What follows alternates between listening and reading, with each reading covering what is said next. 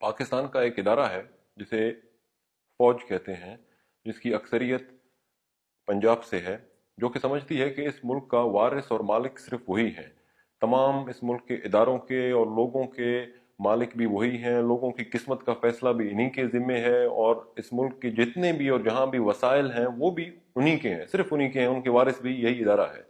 اور جب بھی لوگ اپنے حقوق یا اپنے وسائل پر اختیار کی بات کرتے ہیں یا ان اس ادارے کے پالیسیوں کے خلاف بات کرتے ہیں، انہیں غدار کہا جاتا ہے، اٹھا لیا جاتا ہے ٹارچر کر کے، قتل کر کے ان کی لاشوں کو ویرانوں میں مسخ کر کے پھینک دیا جاتا ہے۔ کیونکہ یہ سمجھتے ہیں کہ ایسا کرنے سے ہم لوگوں کو ان کے حقوق کی جد و جہد سے روکنے میں کامیاب ہوں گے، جو کہ ان کی ایک احمکانہ سوچ ہے۔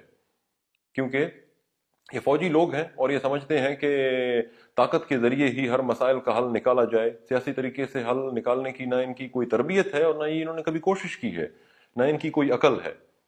اگر کسی سیاسی مسائل، مسئلے کو طاقت کے ذریعے حل کرنے کی کوشش کی جائے تو وہ مسئلہ صرف نہ، الجھے گا نہیں بلکہ وہ پورا معاشرہ ہی تباہی کے دہانے پر آ جائے گا۔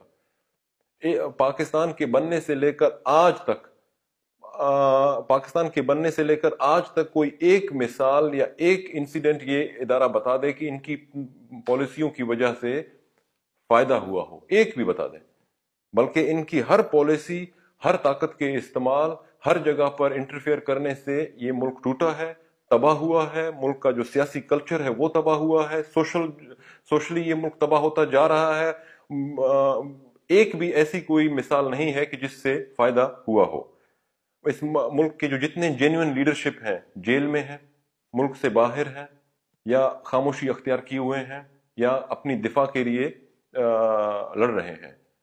ملک میں غداروں میں اضافہ ہوتا جا رہا ہے۔ آدھے سے زیادہ تو یہ ملک پر غداری کا لیبل لگ چکا ہے۔ اور جتنے بھی کرپٹ چاپلوس یس سر کرنے والے لوگ ہیں، وہ سب سے اچھے لوگ ہیں اور ان کی حوصلہ افزائی کی جاتی ہے۔ اور ان کو پروجیکشن دی جاتی ہے پروجیکٹ کیا جاتا ہے اپنے لوگوں کو بیوقوف بنانے کے لیے کہ سب سے زیادہ محب وطن اس ملک کا درد رکھنے والے لوگ یہی ہیں۔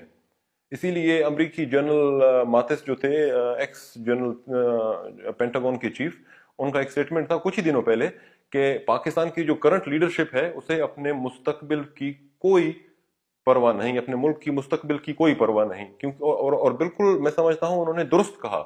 ہر شخص یہی سوچتا ہے جو کہ جنرل ماتس کا سٹیٹمنٹ ہے۔ ہر شخص یہی محسوس کرتا ہے اور سوچتا ہے۔ بلوچ جو ہیں، آپ کے ساتھ رہنا نہیں چاہتے ہم۔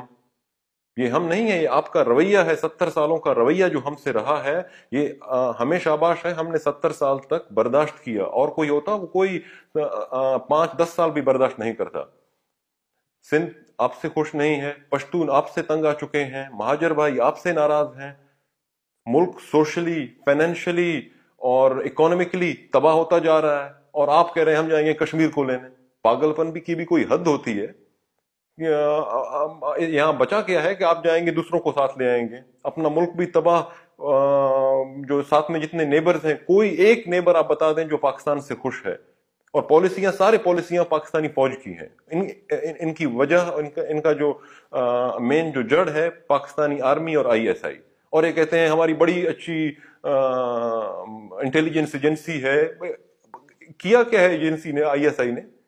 صرف ناکامی، ہر جگہ پر ناکامی، بے شرمی اور کے سوائے ان کو ملا کیا ہے؟ اور کامیابی کس چیز کی کامیابی ہے؟ کون سی بڑی کامیابی کی ہے انہوں نے صرف بجائے فوج کی جو دہشت گردانہ پالیسیاں ہیں، طاقت کا استعمال ہے، اپنے لوگوں کی قتل و غارت ہے، ان، اس کو تقویت دینے میں، اس کو سپورٹ کرنے میں I S I hundred percent معاونت کرتی ہے۔ بہتری اس میں ہے کہ بجائے احمقانہ، بیوقوفانہ باتیں کرنے کے لیے کشمیر لائیں گے، یہ کریں گے، افغانستان میں یہ کریں گے، وہ ایسی ہماری حکومت ہو جو پاکستان کو سپورٹ کرے۔ پاکستان میں جو جو اپنے جو لوگ ہیں، جو بدقسمتی سے نائنٹین فورٹی سیون سے اس ملک کا حصہ ہیں، ان کو سنبھالے رکھیں، اپنی غلطیوں کو درست کریں تو زیادہ بہتر ہوگا۔